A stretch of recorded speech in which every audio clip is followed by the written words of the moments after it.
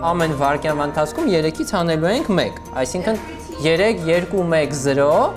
ու այդ հաշվարկը շարունակվելու է մինչև -3-ը։ Հասկացաք, այսինքն 3 վարքյան ինքը քայլելու է։ Մեր կարծիքն է, որ IT տեխնոլոգիաները եւ ինժեներական գիտելիքները առավել կարևոր են դառնում օրեցօր եւ մեր իրականության մեջ եւ ընդհանրապես աշխարհում եւ ստեղ շատ կարեւոր է որ առաջինը այդ ոլորտը հետաքրքիր սարքել երեխաների համար մեր խնդիրն է ուղղորդել եւ գիտելիք տալ իրանց որ իրանք ոչ թե խաղ խաղան այլ խաղեր ստեղծեն եւ ունենան ստեղծագործելու եւ ոնց որ մոտիվացիա եւ հնարավորություն Ոչ Չէ, այստեղ արդեն կոմո պրոբլեմ։ Ֆլեշկետ պետքա դնես, հետո ստեղ դնես։ Լավ, արի հիմա save մի արա։ Տեսնեմ, Սաշա։ Այսօր ունենք հնարավորություն կրթելու մեր երեխաներին վաղվա օրվան համապատասխան։ Հենց դա ենք անում կիբերդպրոցում։ Անում ենք դա 0-ից մինչև այն մակարդակը, երբ երեխան հստակ կամ մոտավորապես իմանում է ինչ մասնագետ է լինելու ապագայում, որովհետև ժամանակը ցույց է տալիս, որ շատ մասնագիտություններ ապագայում արդեն չեն լինելու եւ դրան պետք է պատրաստ լինել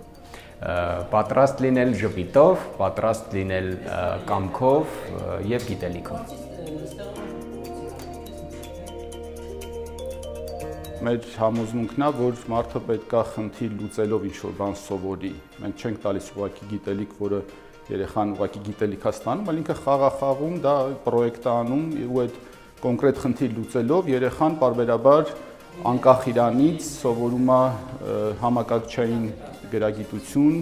սովորում է ալգորիթմային մտածելակերպ եւ հետո հասկանում է, որ ինքը տիրապետում է որոշակի լեզուներին, որոշակի ծրագրերին եւ արդեն կարա դա ակտիվ կիրառի իր կյանքում։ Օրինակ ծրագրավորումը այնպես կամ հեռախոսի application-ով դնում է, ասենք լույսերի ինտենսիվությունը կամ լույսերի խառնուրդը տալիս է այնպես, որ իր ներսում վառվի մանուշակագույն լույս։ Հազար Իհարկե երեխաները ուրախ են գալիս կիբերդպրոց եւ դրա պատճառը հիմնական դա ուսումնաժամանցային մեթոդն է, այսինքն կիբերդպրոցում նշեմ, որ դասավանդում են նաեւ 2 եւ 3D, այսինքն երկչափ եւ եռաչափ մոդելավորում, անիմացիաների ստեղծում, վիդեո ֆոտոմոնտաժ, վլոգինգ, բլոգինգ եւ առարկաներ, որոնք որ ժամանակակից են, այսինքն երեխաները առօրյայում հետևում են դա տեսնում են եւ իրենք էլ ուզում են իրենց փորձով դրանով կիսվել, ստեղծագործել եւ արարել, ինչ որ ամենակարևորը։ Ամեն ինչը կարող ենք փոխել նայեք, ստեղից օրինակ կարող ենք ընտրել մի տղա թե աղջի։ Որտեղ պետք է մտնենք Հիմա ստեղից ընտրում ենք ինքը որ լինի տղա ու արդեն ստեղից հերթով շարունակելով լինում ենք։ Երեխաները ազատ են ստեղծագործում, ինքնուրույն ընտրում են թեման, դասախոսները եւ կիբերդպրոցի ասիստենտները, այսինքն մանկավարժական թիմը նրանց մշտապես օգնում է լինի դա տան, այսինքն տնային աշխատանք լինի կիբերդպրոցի դասերին, մշտապես կապի մեջ են եւ երեխաներին ուղղորդում են սցենարի կազմումից մինչեւ վերջնական անիմացիայի ստեղծում։ Այսինքն երբ որ ծնվեն այդքան այդ իմ ասածնես ուզում դնես որ 5 հատ լինի քո դաշտում վերջանա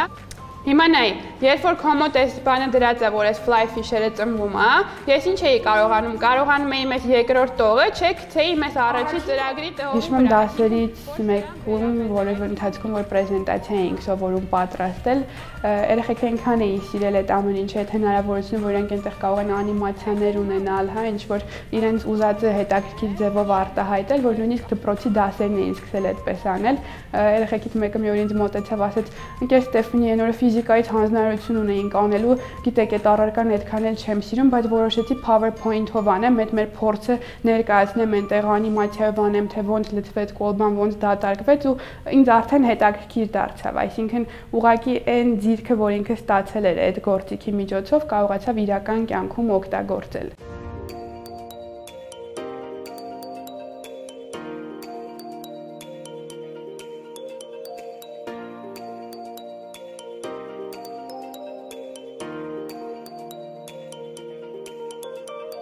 Ամփոփելով IT ոլորտը նաև ներառում է ինժեներական մտածողության զարգացում, ինժեներինգ որպես առարկա այդ թվում նաև, ինչպես նաև միկրոկոնտրոլերային եւ էլեկտրոնիկայի մոդուլները, որոնք որ նպատակ ունեն եւս երեխաներին տալու գործիքներ, հնարավորություն ստեղծելու իրենց մտքի թռիչքին համապատասխան,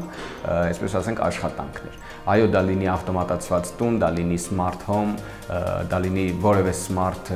հարթակ, որտեղ որ կարելի է ստեղծագործել, կիբերդպրոցը, այսինքն ուսումնասիրում է երեխաների հետ միասին այդ ոլորտը եւս։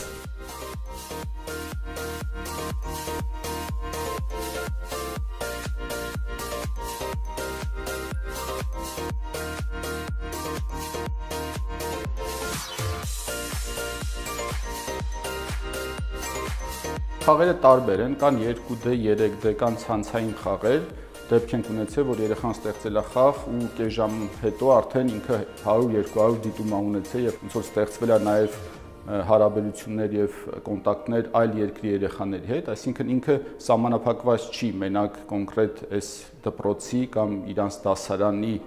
սահմաններով։ Օրինակ մոդուլ ունենք, որ իրանք միասին ստեղծում են ինչ-որ աշխարհ, հա, Minecraft-ի հարթակում, ամեն մեկը ինչ-որ բանի համար է պատասխանատվու, նաև զարգանում է թիմային մտածելակերպ եւ թիմային աշխատանք։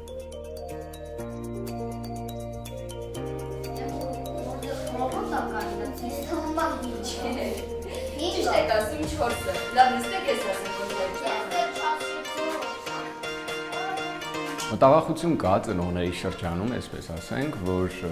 այո, խմբակային արտադասարանային կրթության ինչ որ դպրոցները կարող են բարդություն առաջացնել երեխային ծանրաբեռնել բայց երեխան 2 տարեկանում արդեն օգտվում է հեռախոսից շատ ավելի գրագետ ու པարս, քան ինքը ծնողը։ Ինչու՞ չէ ծանրաբեռնում։ Հստակ կիբերդպրոցում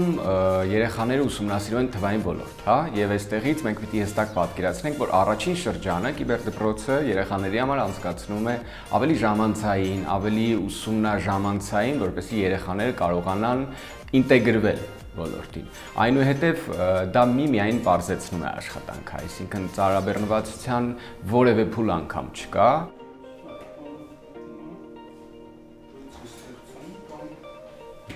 Մեր ուղղությունը նա է, որ պարտադիր չի մեր բոլոր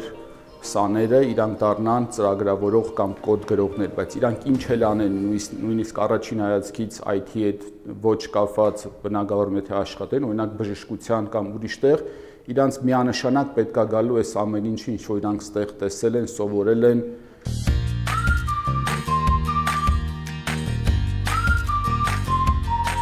անսահմանափակ է երեխա երևակայությունը ուրեմն երեխան ինքը մեր կարծիքով ինքը հանճար է, այսինքն մենք ուղղակի օգնում ենք այդ հանճարին բացվելու ճիշտ ուղղությամբ։